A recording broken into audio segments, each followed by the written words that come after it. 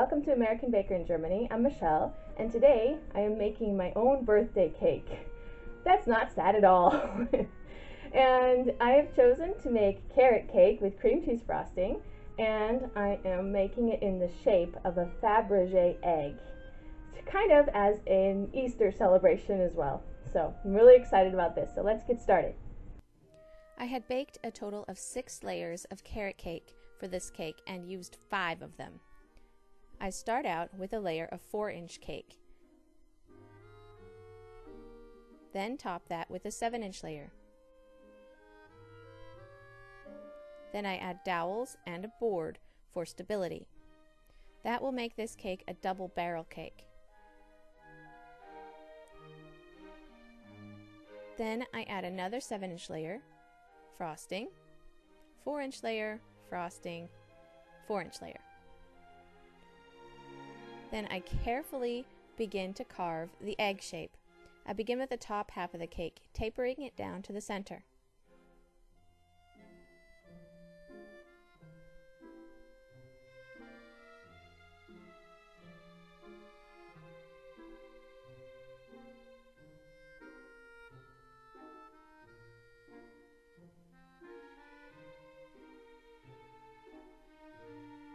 Then I taper the bottom half of the cake in the opposite direction from large to small.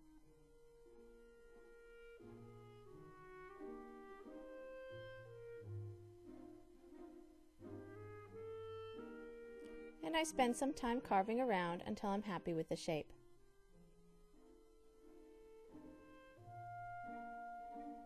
Then I crumb coat the cake in cream cheese frosting.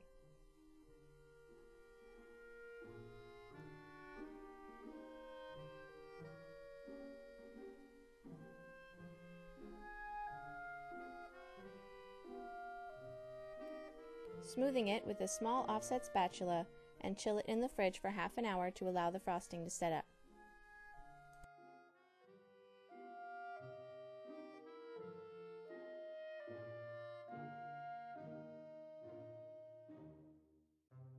While waiting for my cake to set up, I mixed my fondant colors.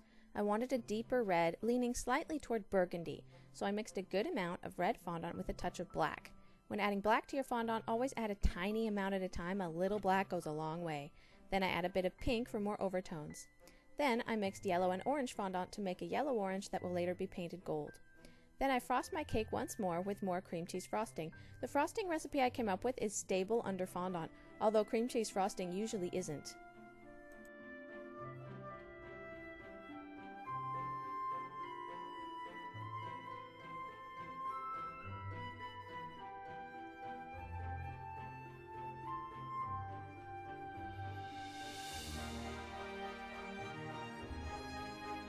Then I rolled out the deep red fondant and draped it over the cake. This cake was a challenge to cover because it was so tall. I smoothed it on with my hands the best I could, although the fondant tore at one point.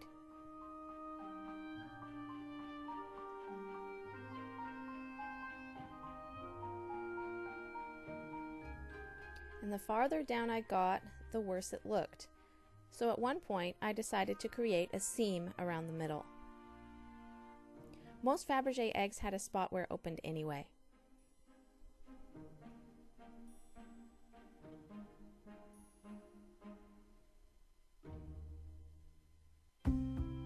So I cut off the fondant that was still clean and could be used again, and peeled off the fondant covered in frosting. That fondant can't be used again and must be thrown away. I repaired the frosting holes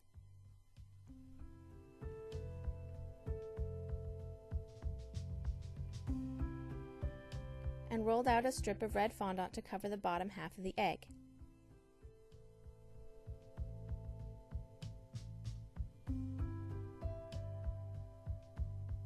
I wrapped it around the cake and cut a relatively straight seam.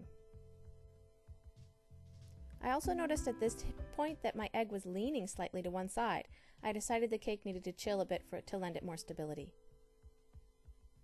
In the meantime, I used my clay extruder to create some lines of yellow-orange fondant. I made a handful of thin lines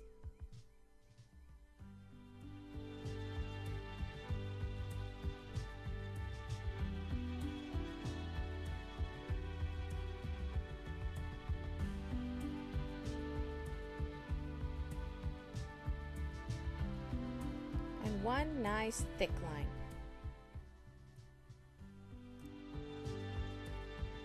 Now that my cake is chilled for a while, I got it back out and trimmed the red fondant on a straight line.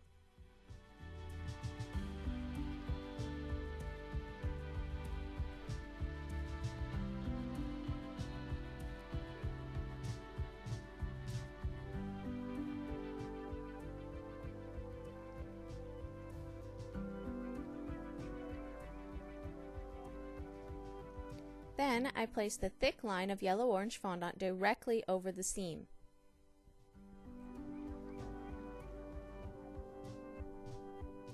I added a thinner line on top of it.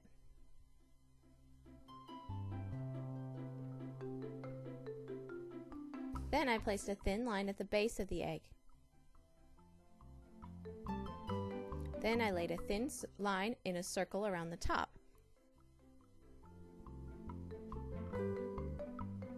Well as a line between the top line and the center line.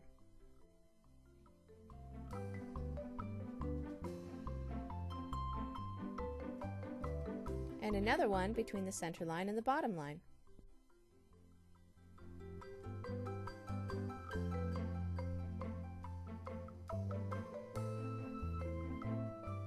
I filled in a few gaps at the back of the cake with some leftover piece of fondant.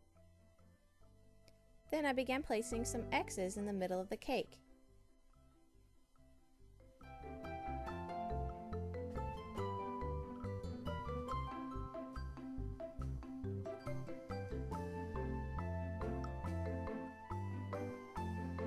Then a V and two I's. That makes 37 in Roman numerals, which is how old I'm turning.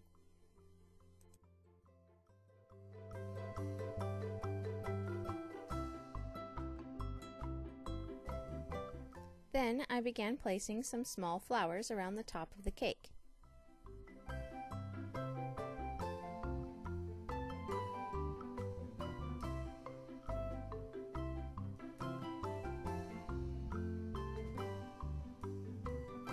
Then more in the line below the Roman numerals.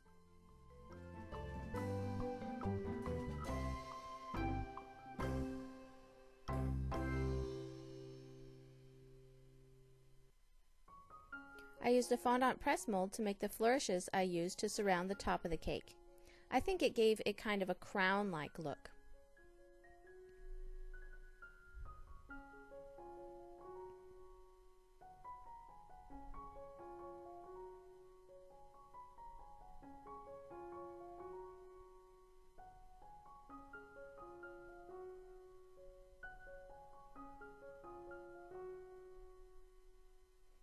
Then I added a few flowers to complete the row with Roman numerals.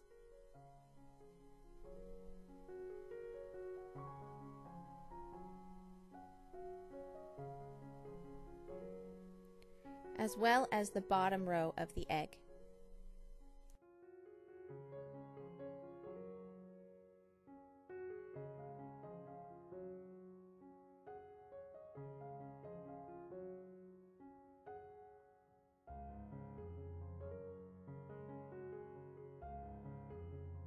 I still had a thick seam though, which I chose to cover with a thick snake of fondant that's supposed to look like some kind of support for the egg. I added another about a third of the way around the egg on what I chose as the back.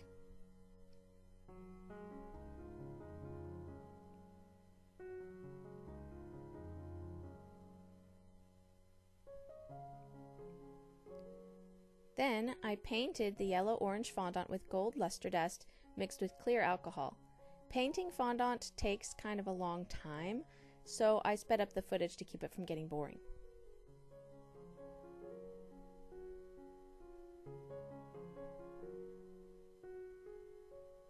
If you like what we do here, consider subscribing for a new cake every week, as well as regular bonus videos with recipes and other tutorials.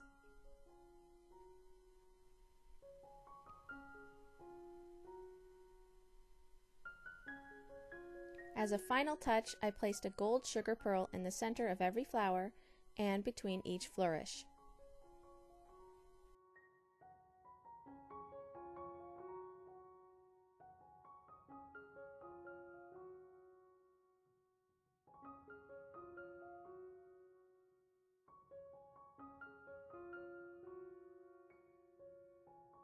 I love this cake. I mean, what is more elegant than Fabergé eggs? And personalized for my own birthday, yet an e- a touch Eastery as well. I love spring, it's my favorite season. And what goes with spring better than eggs, carrot cake, and cream cheese frosting? Happy birthday to me! Visit our website, AmericanBakerInGermany.com, for a complete list of all our cakes and tutorials. We're also on Facebook and Instagram. Don't forget to subscribe.